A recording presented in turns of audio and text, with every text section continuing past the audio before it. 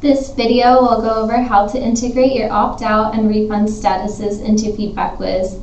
First, navigate into your FeedbackWhiz Marketplace settings page.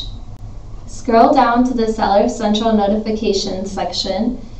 You'll see all the connected marketplaces here. For each marketplace, we have generated you a unique email address for opt-out and refunds. You will need to copy and paste this email address into your Seller Central Notifications permission page. Click on the Manage button and this will direct you to your Seller Central account. Once you have copied the buyer opt-out email address, go ahead and navigate to Amazon Seller Central right here. Make sure the marketplace is the correct icon. If it's not, go ahead and choose the correct marketplace.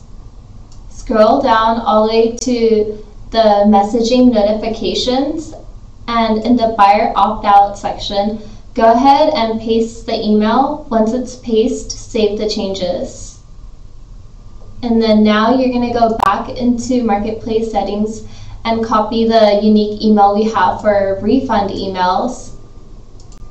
And then scroll up to the refund and claim notification. Make sure you paste the refund notifications email right there.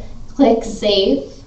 Make sure for all different marketplaces you go ahead and follow those same steps to ensure that you receive the notifications for buyer opt-out and for refund statuses for all the marketplaces you have under your account.